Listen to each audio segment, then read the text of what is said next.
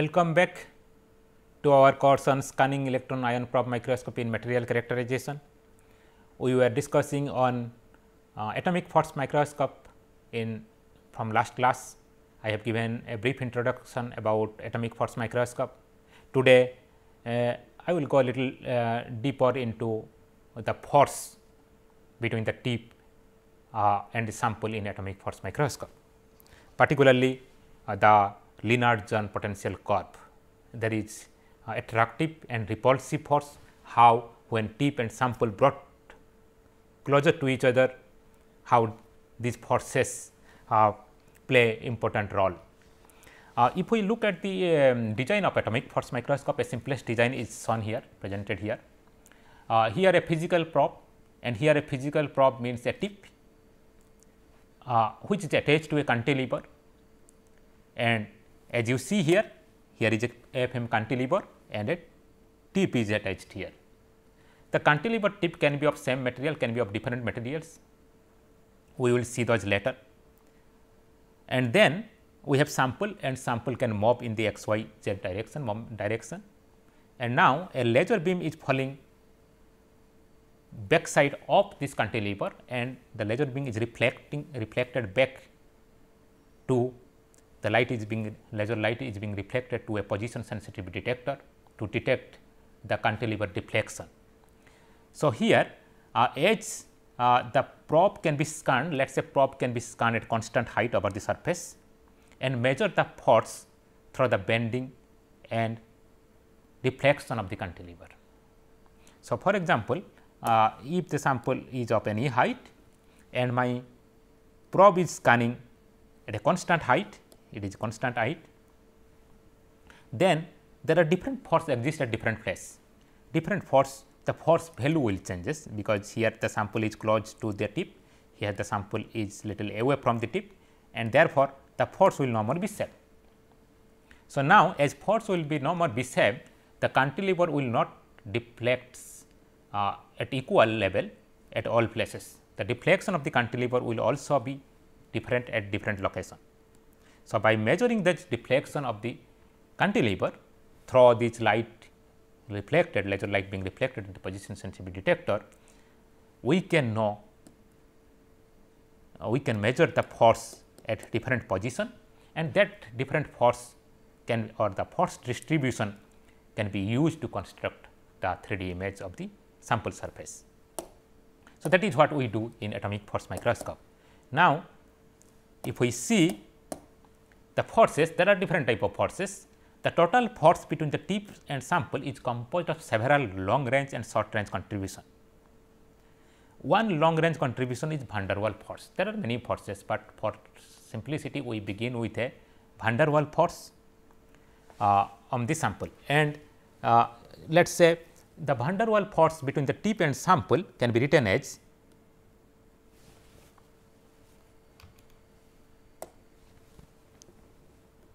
the the van der Waals force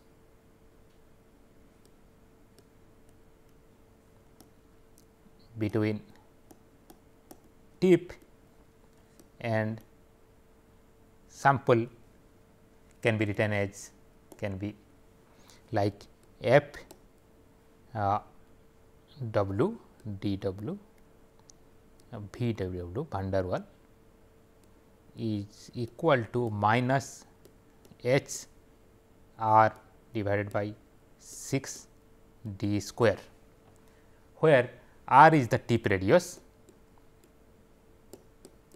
tip radius and d is the distance between tip and sample,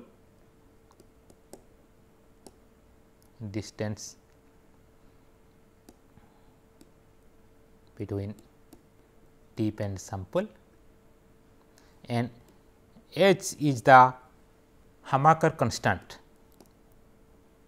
Hamaker constant. Uh, whose value is in the several uh, uh, electron volt uh, in the range of several electron volt this Hamaker uh, constant value. And, uh, and this Hamaker constant is a material constant and it depends and it represents the van der Waal uh, interaction force. It depends on the van der Waal interaction between uh, two objects. Uh, in this case, it is tip and sample and this constant h is equal to uh, pi square c rho a and rho b, where c is the Hamaker's coefficient, c is the Hamaker coefficient and rho A and rho B are the number densities of uh, two different uh, uh, inter interatomic uh, objects or interatomic atoms. So, here uh, this uh, Hamaker coefficients depends on the atom atom pair potential because here when tip and sample are in coming close to each other there are one atom on the tip and one atom on the sample. This is the atom atom pair interaction or atom atom pair uh, potential. And that can be atom atom um, uh, that can be written as uh, like uh, this uh, Hamaker coefficient is related to also the potential uh, u v d w is equal to c upon r to the power 6 here it is minus r is the r is the separation between tip atom r is the uh, distant between tip uh, um, distance between uh, two atoms not tip distance between atom atom pair potential this is distance between two atoms. This is what the uh, van der Waal force uh, between uh, the tip and sample and this van der Waal force uh, like uh, uh, exist in the sample when exist in exist when tip and sample are uh, at least more than 1 nanometer away from each other. if they come more closer less than 1 nanometer less than 0.5 nanometer then other force will also play important role particularly the short range force will come into picture and we consider here van der Waal forces as a long range force. So, now we have uh, uh, tip and sample one is probe in, in, in this case it is a probe and we have a sample. When tip and probe tip comes close to the sample uh, there will be uh, different type of forces particularly if we consider let us say uh, when probe is coming close to the sample when it is far away from each other uh, then there will be there will be no force or there will be less interaction or negligible interaction when they come closer uh, they will first there will be first attractive force and then attractive force will keep on increasing and when they come very close to each other then there will be repulsive force. Repulsive force arises when uh, they the atomic orbital will start overlapping overlapping and then due to overlapping uh, the there will be electrostatic repulsion electrostatic repulsion and that would uh, increase the repulsive forces. In addition to the electrostatic repulsion, there is also quantum mechanical phenomena or quantum, quantum mechanical contribution. Uh, as we know as per the or we can say that is a Pauli repulsion. Uh, we know as per the Pauli exclusion principle, uh, no two electrons can occupy a single states. So, now when two atoms coming closer to each other and they are overlapping, uh, already the lower states are occupied by the electrons of one atom and when the neighboring atom uh, electrons are coming there. Uh, so, they cannot find place to occupy the lower states and therefore, they have to deviate and that leads to the repulsion. Uh, if we go with a quantum mechanical discussion uh, and using the Schrodinger equation. So, all these kind of attractive and repulsive forces can taken into account, but instead of going to those uh, mm, more detail of quantum mechanical discussion, we will we will go with a simple uh, mathematical model. So, where uh, two atoms are there and two atoms are let us say far first uh, they are far away from each other and at a large distance they do not interact with each other, they do not interact with each other. And when they uh, brought little close to each other uh, with a minimum energy uh, by providing a minimum energy, they will start experiencing attra attractive force. And when uh, then they, they can because of attractive force they will again come uh, close to each other very close to each other uh, and at, at this close there will be a minimum bonding potential minimum bonding potential and once they come further close to each other then we uh, then the repulsive force uh, will become dominating in these cases. And uh, if, if we talk about uh, these places the, uh, these repulsive forces will increase very sharply as the distance between two atoms is decreases. And at these places at this position we can say interatomic pair potential produced and that can be interatomic potential can be calculated or uh, calculated by taking the sum of attractive and repulsive forces. The common uh, the most common mathematical expression uh, for uh, calculating the interatomic uh, potential interatomic pair potential is the uh, Lennard-Jones potential that is discussed that, that um, potential curve is presented in the slide. So, this Lennard-Jones um, uh, interaction between two atom or Lennard-Jones potential uh, describes the interaction between two neutral atoms uh, two, two neutral atoms and it takes into account of the both attractive and repulsive force. We can write, write that uh, Lennard-Jones uh, potential as as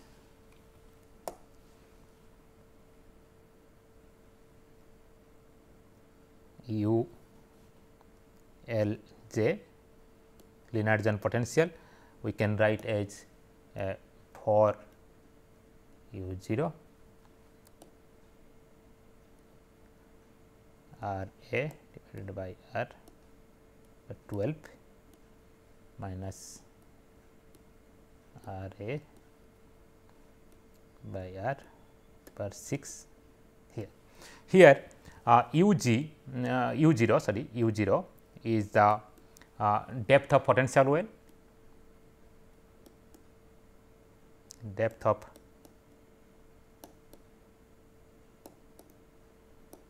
potential well. And R A is the R A is the distance at which uh, U L j 0 distance at which U L j uh, is 0 and r is the small r is the distance between distance between two atoms. So, now uh, in this equation uh, this first part of this inside the square bracket is the uh, repulsive force and in the second part it is the attractive force. This is the attractive this is the repulsive repulsive contribution.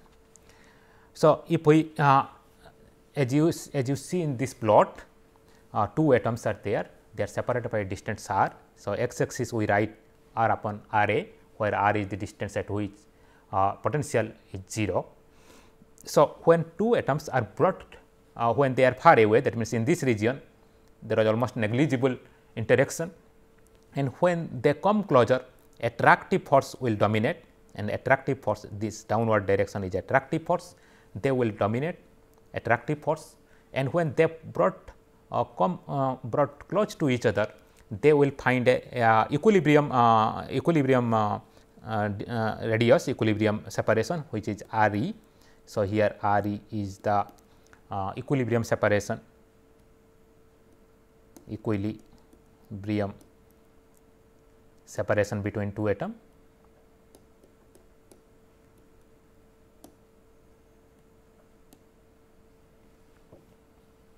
and uh, at, at which the, poten uh, the potential is the lowest minimum and R s is the distance of maximum force maximum force interaction force between the atoms. And as two atoms brought close to each other more close as you see here uh, the potential is increasing and repulsive force is also increasing. Upward is the repulsive force and downward is our attractive force. So, it this can be uh, correlated to our AFM. Uh, this is between two atoms. So, we consider here it is two atoms. This potential curve is taking into account of two uh, non interacting or neutral atoms, but this can also be correlated to the uh, interaction between the tip and sample in atomic force microscope. When they are far away, there is no interaction or negligible interaction. Once they brought closer, there will be more attractive attractive force and when they are very close, there will be repulsive force. There will be repulsive force will dominate and uh, this uh, or repulsive force will take over the attractive force. If we uh, see that how happens when a uh, probe or probe and sample brought close to each other in atomic force microscope and that is the force versus uh, distant curve that, that this is what here we had plotted force versus distant curve and that force versus distant curve in AFM can be plotted like this. So, in, in this side this is a approach or engagement means a probe is brought closer to the sample or approach toward the sample. As you see when it is A, it is away from the sample, this is tip sample distance, it is away from the sample and as soon as it reaches the B position, B position, uh, tip uh, is just got stuck to the sample the attractive force was strong. So, the uh, tip got or probe got snapped into the sample. So, this can be uh, understood by taking an example of a spring. Uh, here spring is attached to a magnet, uh, one side is attached to magnet and the spring is um, held by a support. Now, uh, uh, if I bring a, a, metallic or a magnetic plate close to the uh, close to this magnet let us say a iron plate I brought close to the magnet first it was in equilibrium position. So, now if I bring or brought a metallic iron iron plate close to this magnet or mag then what will happen the spring will stretch spring will stretch to reach an equilibrium position. First magnet was uh, being suspended with a particular gravitational uh, force gravitational force. Now, as a another magnet or another iron plates brought closer to this magnet then the spring will stretch.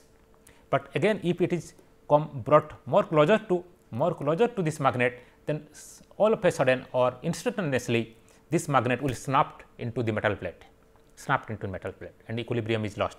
Instead of instead now magnet is directly fixed to the metal plate below. This similar um, uh, effect is found in atomic force microscope when probe is brought closer to the sample. As they brought closer to the sample as you see here, um, tip got snapped into the sample and now there is a strong um, interaction or strong attachments between the tip and sample here. And similarly, and that is a repulsive region that is a repulsive region because tip sample are got stuck to each other. So, it is a repulsive region B afterwards it is going to C this is this is this is repulsive region a repulsive force uh, dominate over the attractive force and while retraction or disengagement of the tip again the C and when we take out and as you see here how the position is changing when it is goes upwards. So, uh, what we see uh, it is that uh, tip get snapped to the sample when they uh, come uh, closer to the uh, closer to the sample to, to a certain distance and once it snapped it get touched to the it, it, it, it, come in contact with the sample and therefore, it is we can say it is a contact mode of contact mode of measurements uh, later stage we will uh, see that there are there are different modes of AFM operation contact mode, non-contact mode and also tapping mode. So, these cases where tip is strongly stuck to the sample or attached to the sample it is a contact mode of measurements where uh, uh, sample grab the tip. So, the when and that happens um, that happens when tip is slowly brought closer to the sample and at one particular position it it, it uh, lost its control and get snapped into the sample surface.